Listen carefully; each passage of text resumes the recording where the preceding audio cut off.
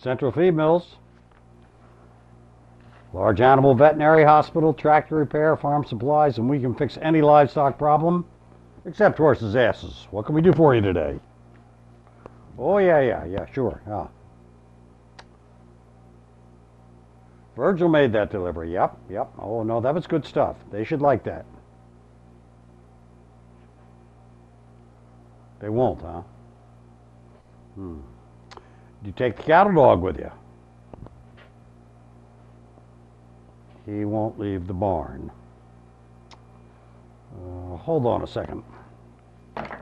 Virgil, you want another job? That there Cheyney feller has got to get somebody else to call his cows at night.